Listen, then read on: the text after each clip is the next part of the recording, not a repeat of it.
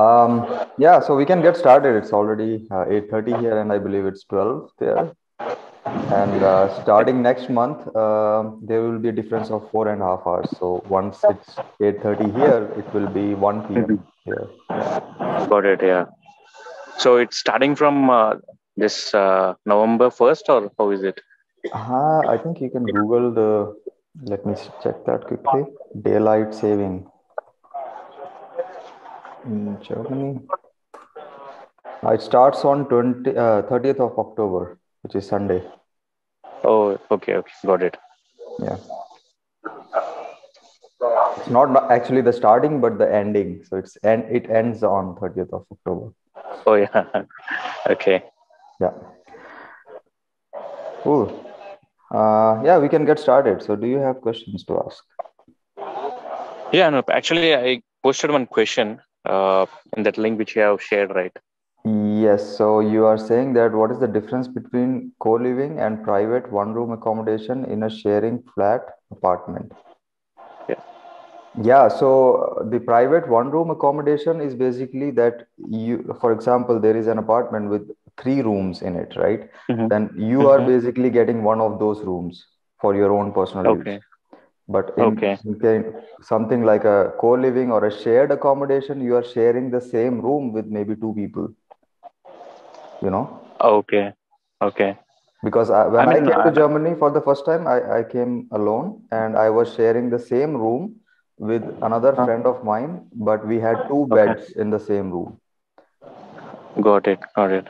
Yeah. Because uh, like I've I've seen few of the advertisement in that portals, right?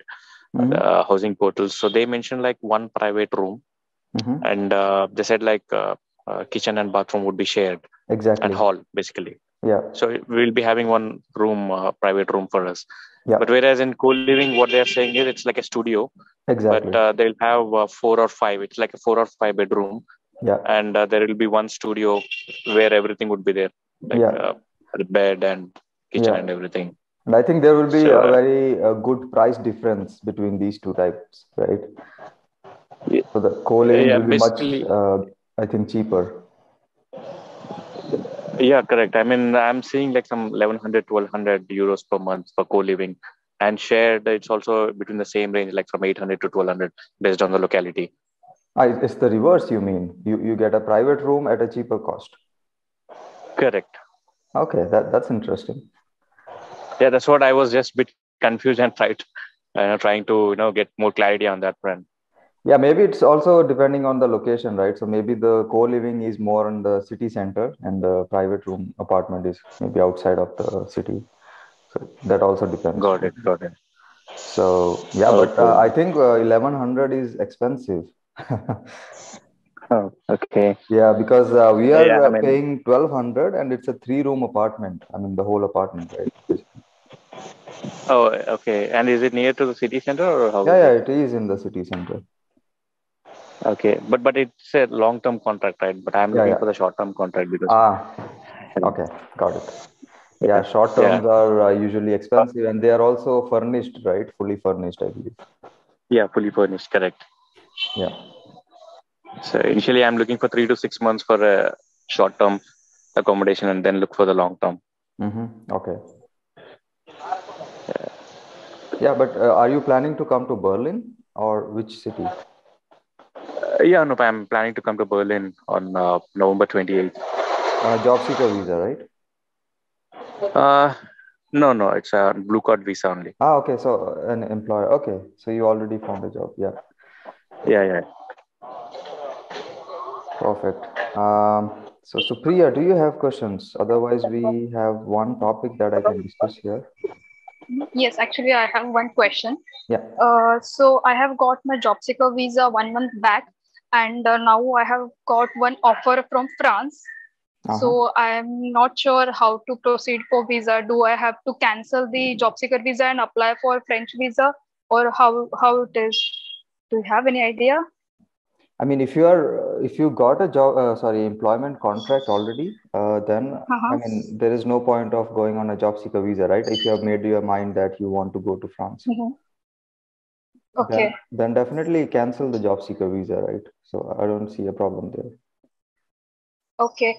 And uh, if I come to Germany on job seeker visa and I'm getting job in any other country, so is it uh, possible to uh, apply for visa from Germany itself, or do I have to come back to India and apply from here?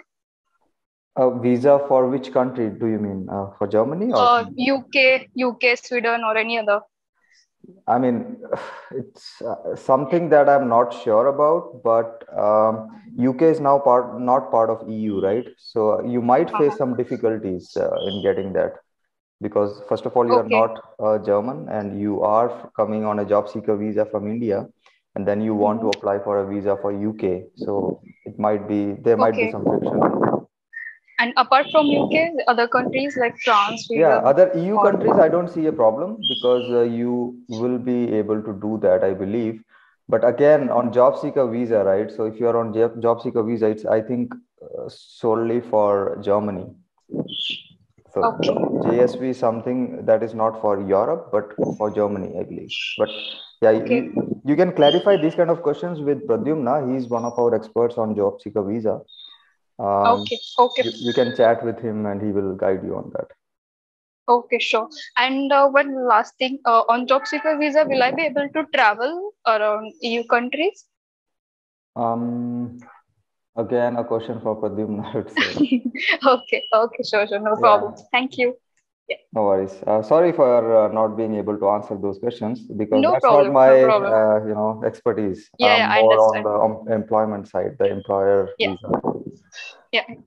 Um, yeah, but if you're uh, planning to come on a job seeker visa, I also have a, uh, some some topic that I wanted to discuss actually. But uh, since the audience is less, it's fine. We can put it on YouTube.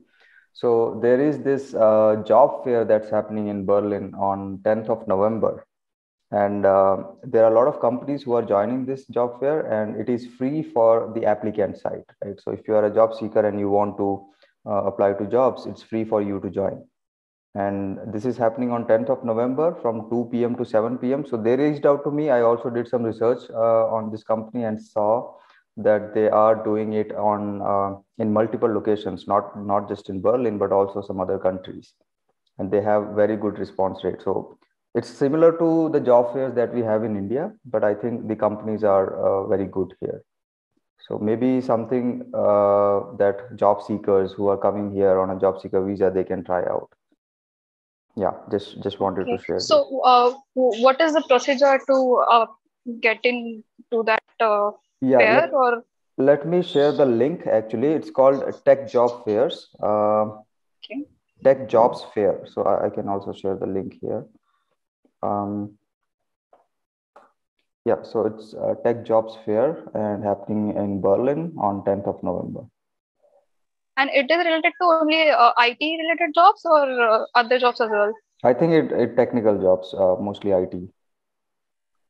Okay. Uh, are, are you in not in IT? Uh, I'm in electronics core.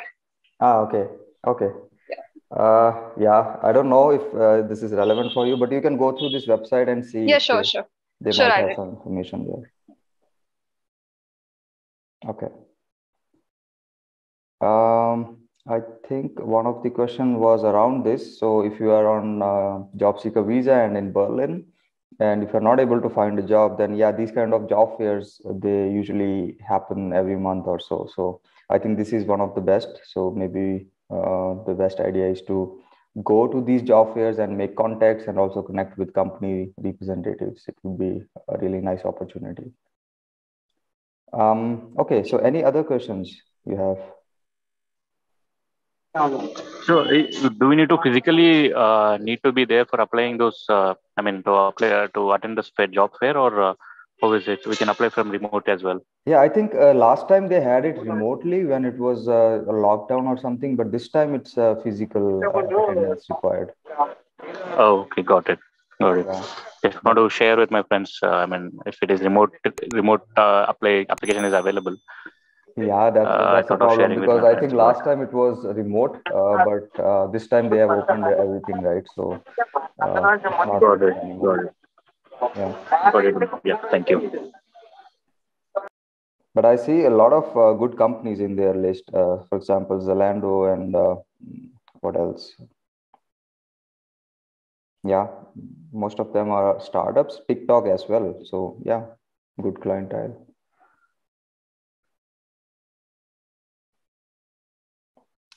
Uh, Parag, do you have any question?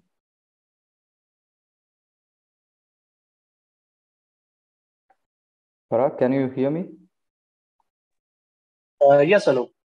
Hey, Uh, how are you? so, uh, I'm doing good. Uh, how about you? Yeah, I'm good. Do you have questions? Uh, no, actually, uh, uh, I have an appointment for job seeker visa on 1st of December, and I'm planning to move in the mid of January. And my intended stay, like, uh, I'm focusing on Berlin, like lots of English speaking jobs over there. Mm-hmm. And in the past eight months, like, I have appeared for almost 16, 17 interviews, and most of them from Berlin. So, Okay. yeah. Yeah, definitely. Berlin has a lot of uh, startups emerging every day, so it's a good opportunity there. Um, Yeah, yeah. yeah, so you said you are coming in January. January, yes. Okay. Yeah, I think it's also a good time because uh, most of the people they will be back from their vacations by mid of January, so you will have a good uh, six months for trying out things. Yes, yes, indeed. Yeah. Okay. Good luck. Good luck with that. Yeah. Thank you. Um, any questions you have other than this? Uh, no, actually, uh, like I'm uh, active on community, like, uh, and uh, based on the people's experience and reviews, like, uh, I am foolproof on my job application, like the, for the visa appointment and uh, job search as well. Mm-hmm. So, yeah, so I'm like uh, waiting for January to come and uh, yeah, to start job search in Berlin. Okay. Perfect. Yeah, Yeah. sounds good. Uh, yeah, I was just sharing uh, with the other people who joined uh, that there is a tech job fair happening in November, but uh, you will be joining Berlin after January, right? Mid of January or so. Yes, yes. Yeah. So, yeah, but maybe you can try other job fairs happening in Berlin other than this one. Yeah, yeah, uh, definitely. I also attended like in the month of July two virtual uh, Mhm. job fairs, but uh, like they were expecting me to physically present for the interviews, and uh, that was not possible. Yeah, yeah, I know. Okay. Uh, anything else? Uh, Supriya, Parag, any one of you? Uh, one small question related to German language classes. So I'm doing, uh, I'm learning A2 in Goethe online class. Okay. So is there uh, online courses available uh, there in Germany? Yes, yes, in of course. Goethe or any other institute? Uh, Yeah. Super intensive courses? Uh, yeah, I mean, a lot of institutes are now providing online classes, so you can select the one that has good reviews and which works according to your time, right? So if you want to do evening classes or weekend classes, you have a lot of options. Okay. And also some of the companies, they also uh, this uh, how to call it? Provide They- language. Yeah, yeah. Yeah they, they support you in terms of uh, providing the institute help i mean helping you with identifying the right institute and those kind of things Okay. Uh, in India, actually, we have standard format like A1, A2, then B1, B2, C1.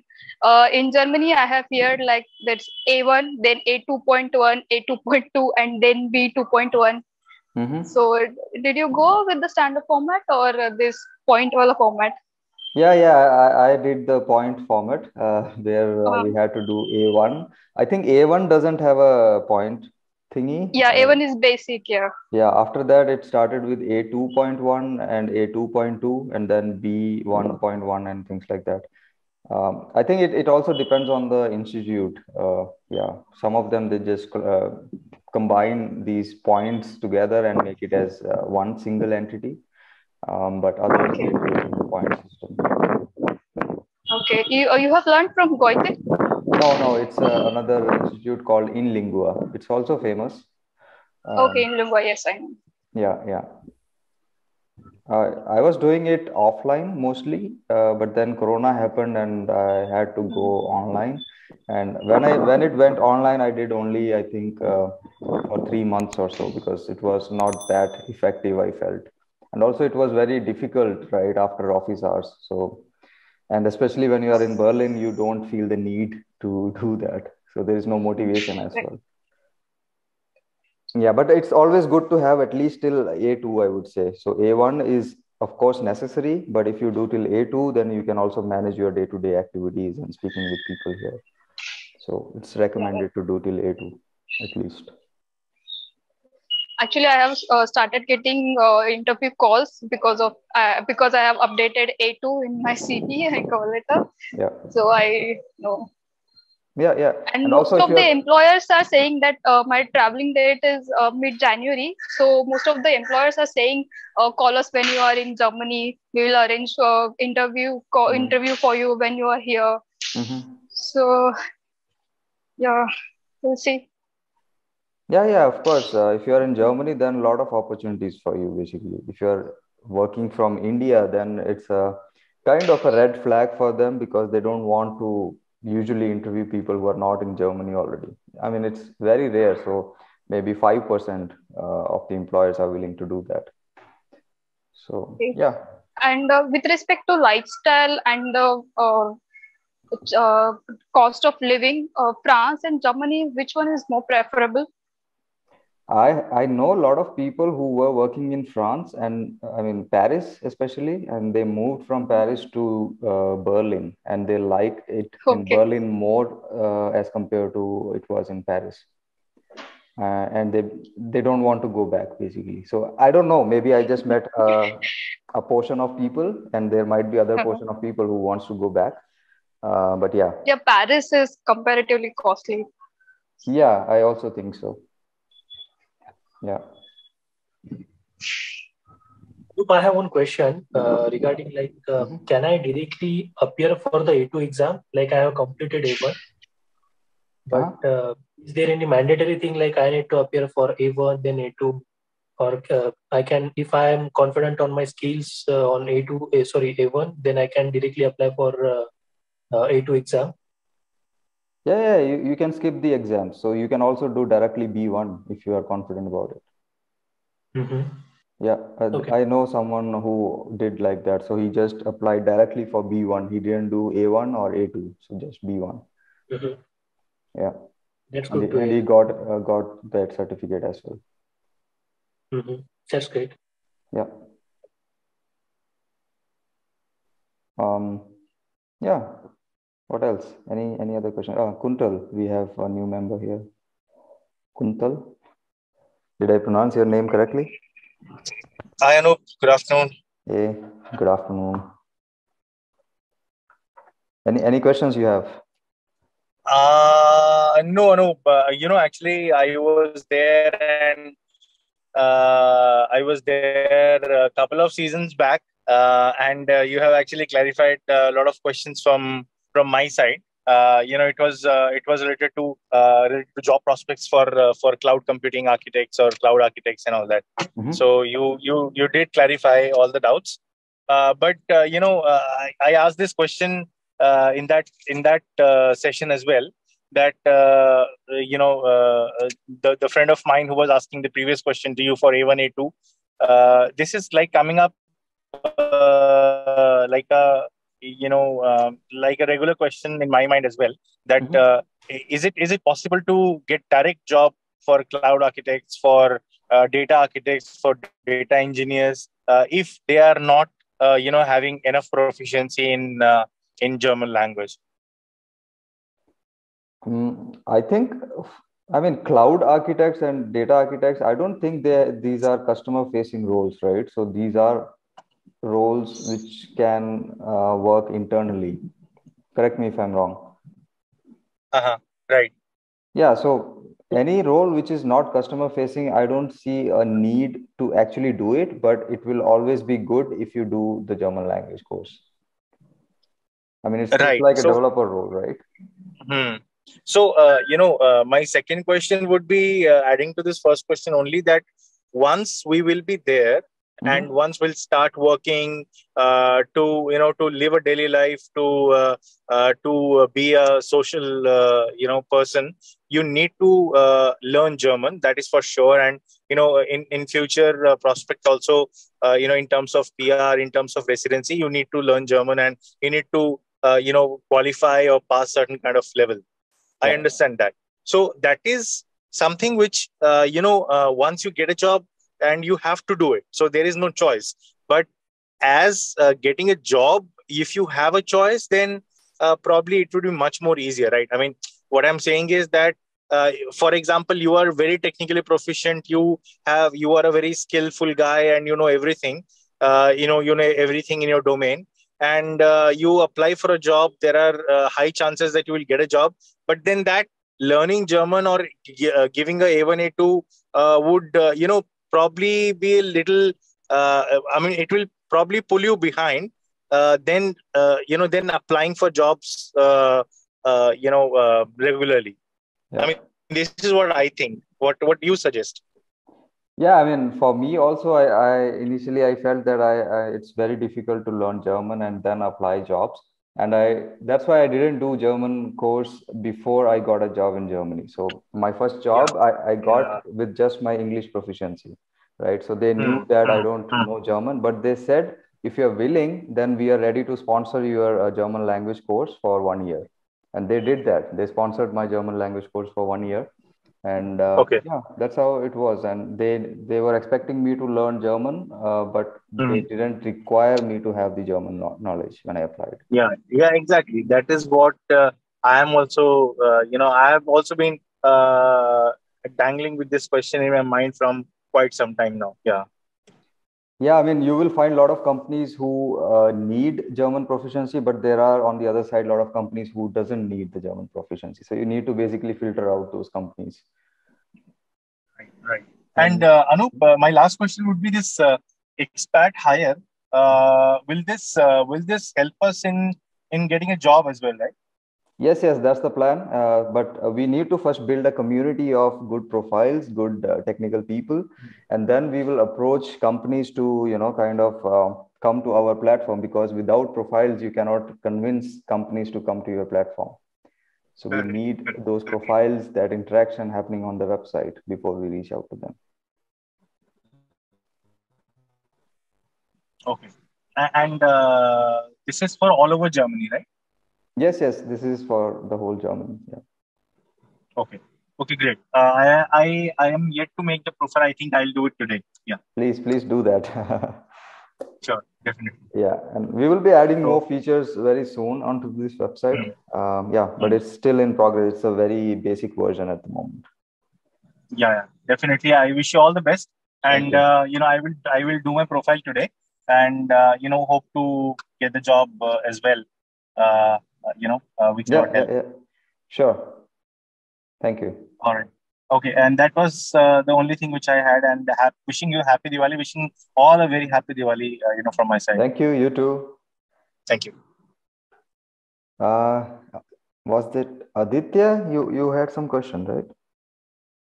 Uh, mm, I don't know. I, I need to ask you just now. Actually, you said that your company sponsored your German language course, right? Mm-hmm. So was it some kind of a institute or was it some like was it some kind of a what we say class or something like that? From where did you get that uh, German language? Uh, like yeah, it was an institute done? and it was an offline class. Uh, the uh, institute is called InLingua. It's quite famous. Um, yeah, InLingua. InLingua. Yeah. Could you could you write it down in the chat if you don't mind? Yeah yeah it's called InLingua and in i think lingua. it comes uh, after goethe. So if goethe is number one i would say InLingua is number two probably. And uh, yeah they okay. are really good. Uh, at least the offline classes were really good. Uh, very interactive very small groups. Uh, i would say three to four people in one batch. So it's really interesting to learn there.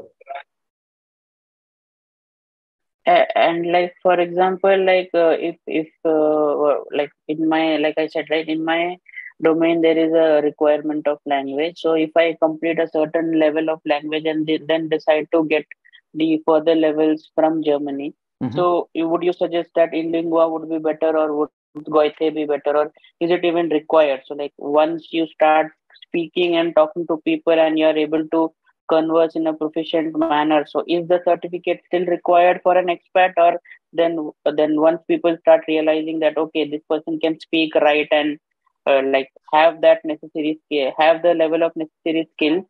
So then will will the higher level of certification be required? Yeah, there like are two things. a certain level. Yeah, there are two things. One is uh, the official requirements, right? For example, if you want to apply for a PR, in that case, you need either A1 or B1. So if you have A1, you can apply for a PR after 33 months uh, while being on blue card. And if you have B1, uh, then you can apply within 21 months while on blue card. So I think those are the official requirements. So for these to fulfill, you need those certificate. But to perform your day-to-day job, I don't think you need a certificate. It's more about how you how proficient you are uh, with the German knowledge, right? Or with the German language. Um, yeah, so these are the two types of requirements. Uh, for the official purpose, you definitely need the certificate, and for the uh, daily communication, you don't really need it. So after B1, how many in how many months the PR months. can be applied? 22 months. 21 months. 21 months. Okay. Yeah. Okay, okay. So this particular B1 certification can be done via Goethe also or and InLingua also or only Goethe will be uh, like will be preferred? Uh, I think both. So uh, I did my A2 uh, using uh, InLingua and I applied for the PR with that certificate. Okay, okay, okay, okay. Yeah. And okay, the, that was it for the language part. I also wanted to know regarding the ZAB certificate actually. Okay. So, like the university listed in the ZAB website gives an H H plus. Like currently, my the university from where I have completed my masters is g- given the H one uh, rating. So will will I still be required to get the ZAB certificate, or will my certificate be uh, like recognized over there? Uh, what do you mean H1? Is it H1 or H plus? H plus, H plus. Sorry, H plus. I'm yeah, sorry. yeah. So all those where H plus is there, uh, you don't need any uh, certificate for the education. You're Okay, okay. as long as your certificate is in English, at least. Yes, yes, it's in Okay. English. Okay, cool. And where uh, then there could be some like Devgiri, like because I'm I have done my, my thing from Maharashtra, right? So there could be the university name could be in the bilingual language. It can be either in English also as well as with English. It can be in like Marathi also. mhm. So, but if it is in there are the information is in English, it's still uh, valid, Yeah. right? Yeah, yeah, it is valid. And I mean, if you are too concerned about it, you can also get it translated in German with the official translator. Okay, okay, okay. Yeah. Okay. Yeah. Thank you. Thank you. No worries. Um, any last question? We have two more minutes. Uh, I have one question. Mhm. Uh, the portal that you mentioned, uh, the expat for job search, uh, is it uh, it is it focusing on IT related jobs or other jobs as well? Uh, so the idea is we uh, do it for everyone, uh, not just for IT, but also for non-IT people. So even including people who are in the medical field or medical lines, because there's a lot of demand for uh, people who are in the medical lines in Germany. Uh, I don't know if you guys are aware, because uh, but most of the nurses who are working in Germany they come from India, from Kerala, basically. Oh. Yeah, so we want to provide a platform for almost everyone, not just the IT people. Okay, good to hear that. And and I posted the link uh, on the chat. Yeah, got it. Thank Uh, you. Arab, just uh, yeah, just last question quickly. Mhm. Has any of our members applied for the chancellor's card, the one that has just they have announced it? Like anybody who has come for a job, like because I wanted to know what are the limitations in chancellor's card when compared to job seeker visa. Like we know that job seeker visa is only for six months. So what will be the chancellor's card duration? Uh, you mean the Chancellor- green card chan- thingy that they have started? No, no, no. Jochen had posted regarding this new uh, career opportunity card in which we have to fulfill like three of out of four requirements, right? I am Ah, not yeah, able to yeah. pronounce it in German, but yeah, but some kind of a card in Yeah. which we have to be under 35 years old.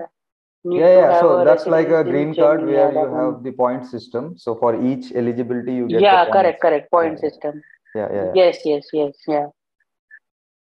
So does does that have some validity or uh, like is it like for lifetime? How does that work? As Because far that as was I not know, mentioned in the website. yeah, as far as I know, this is not yet implemented. This is still in talks, right? So this is not yet Okay, okay, live. okay. So once we uh, have this live, probably we have the clear understanding of how this is working. But yeah, Oh, okay, okay. I think probably you can also do some research. I will also try to do some research on this. Uh, I think Yes, it's a good opportunity for those who wants to, who were planning for job seeker visa, but now they have another option probably. Yes, yes, yes. Yeah. Because if, if if the if even if the duration is more than job seeker visa, it is still a much more bigger advantage than job seeker visa also, and it, I think it is much more less riskier also Hmm. once you get this. I I think so. But let's see. Yeah, Thank yeah, definitely. Okay, guys, then uh, wish you all a happy Diwali and uh, take care. Keep trying. Thank you Happy so much for your time. Thank you. Arun. Thank you. Happy Diwali. You. You too. Bye. Thank you. Bye.